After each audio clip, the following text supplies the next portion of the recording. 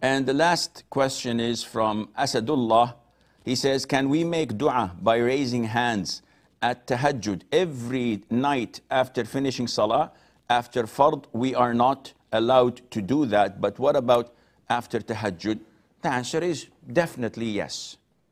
Tahajjud time is a time for dua.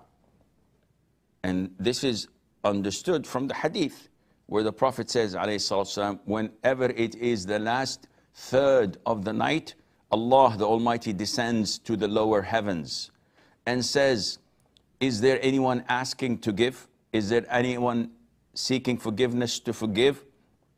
Is, is there anything who has something that I would uh, grant him, etc.?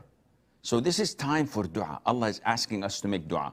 And because this is a time for dua, so you raise your hand, whether before the tahajjud or after the tahajjud, and make as many dua as you wish.